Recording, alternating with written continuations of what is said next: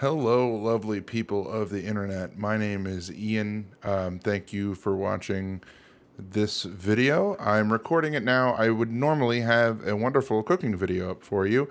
However, uh, halfway through the recording of the mole loaf, my recording computer decided to die on me, and I only got half of the footage that I wanted, so I couldn't really edit.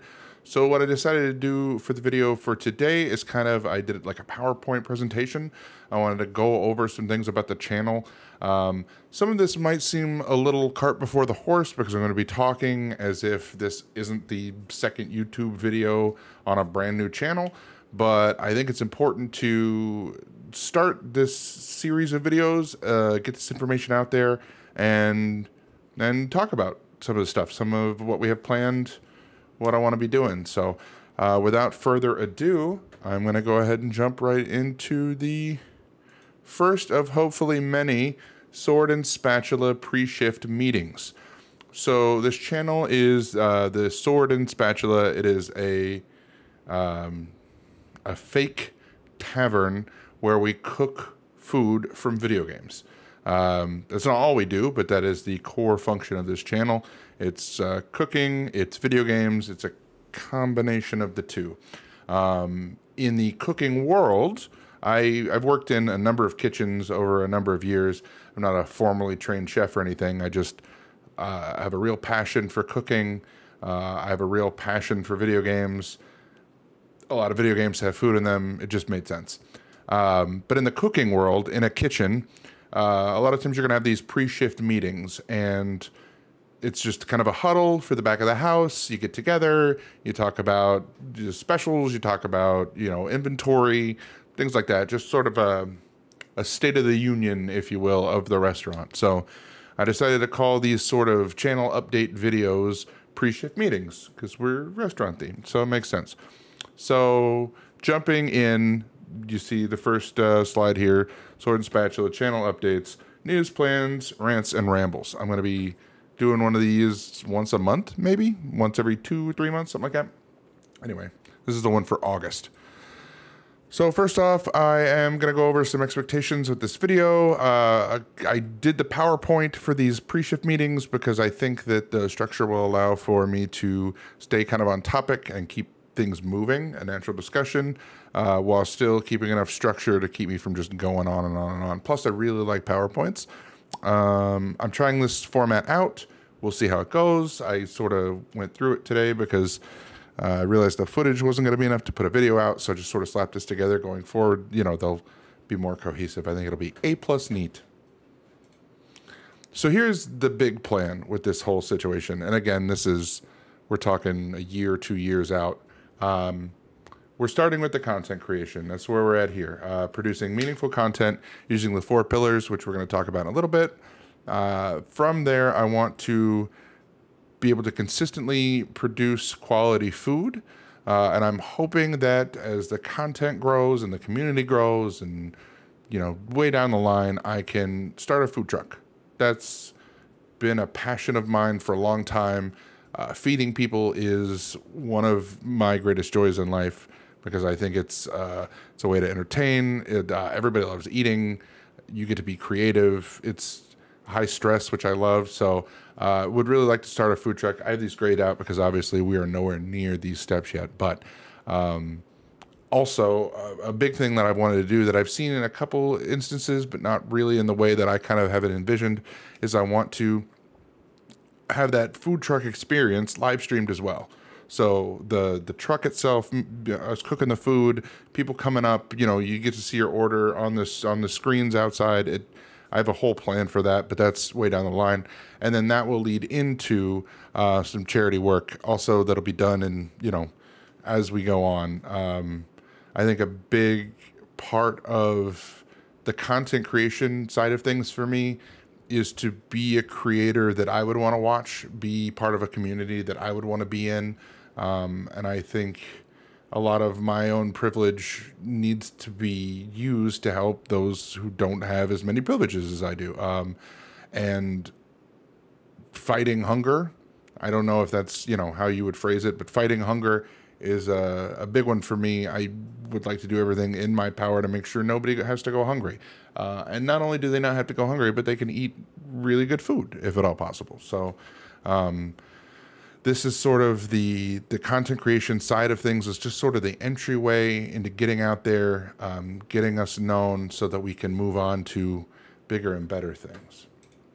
Uh, I was talking about content creation based on the pillars. I have four big pillars that I decided were like the core foundation for any content that I make. Um, the first one is going to be kindness.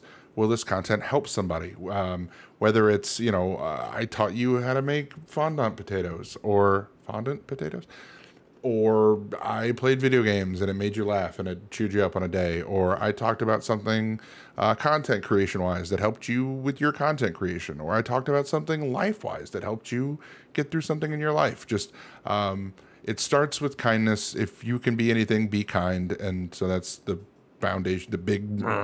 Uh, moving on, sustainability. Is this content able to be produced on a reasonable schedule? Uh, burnout is a big deal. I realize these videos are going to be coming out for a year, year and a half before anybody sees them for longer than 30 seconds at a time.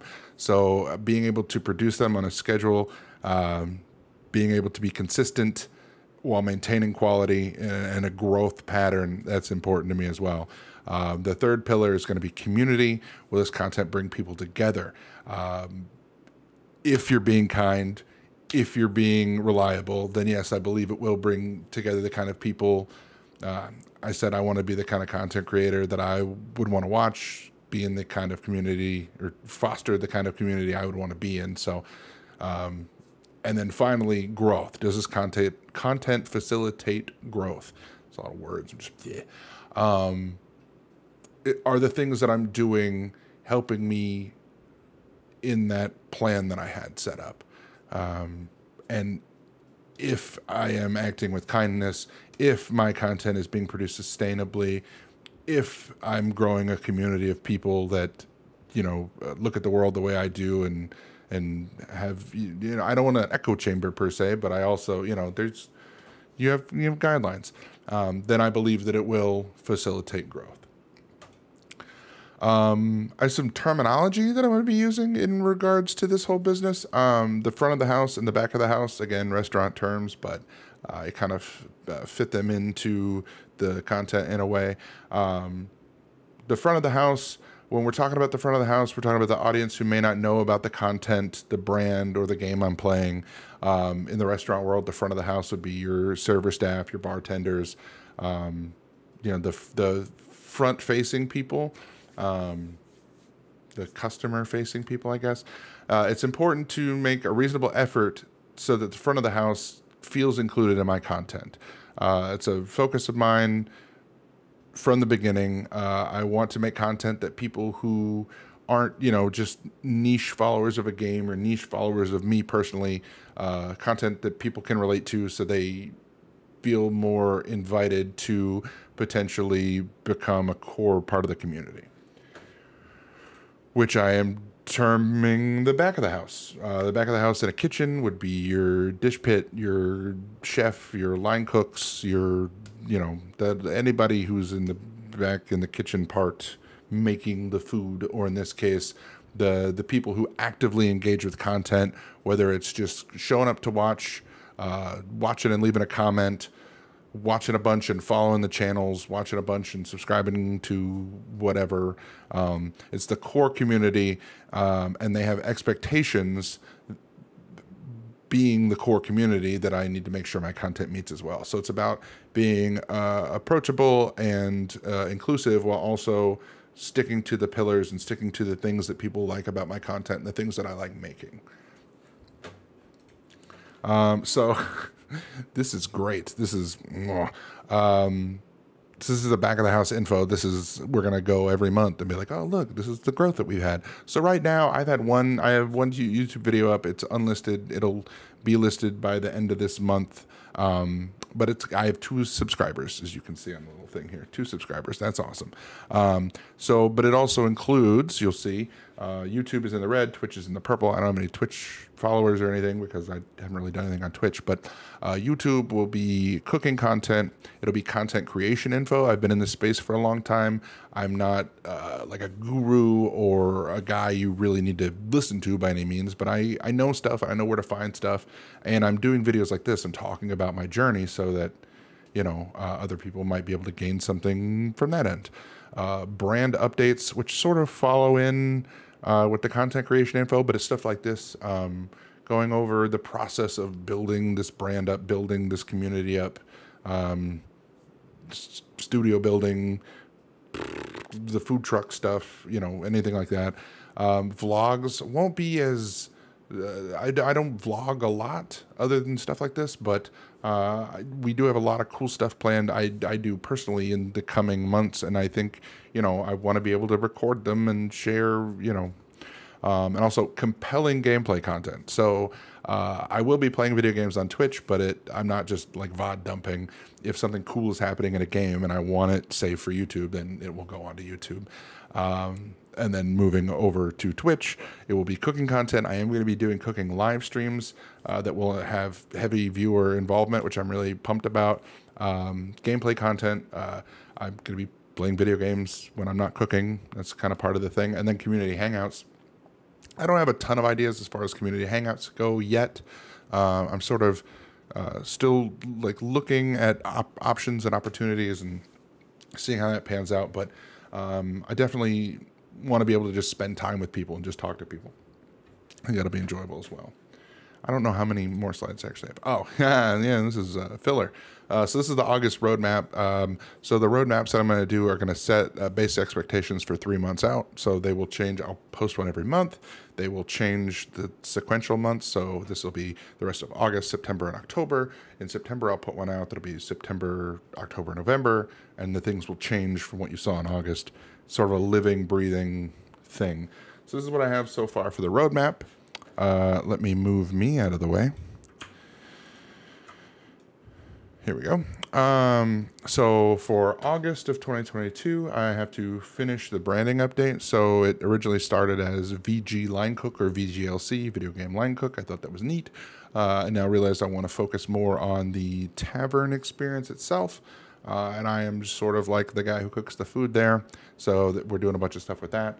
Um, this video, obviously, but also the video next Friday. I'm trying right now. My goal is right now fingers big fingers crossed um, to produce a piece of content every friday at the minimum for youtube so this video is coming out and then next week on friday a video come out and then the studio final draft i have a um, I have a studio rough draft right now that I will put on screen and post probably.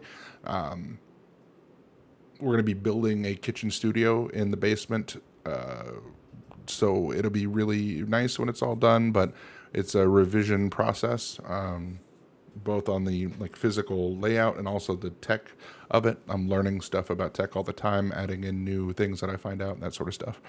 Um, and so I hope to have that completely like locked in. This is what we're doing by the end of this month.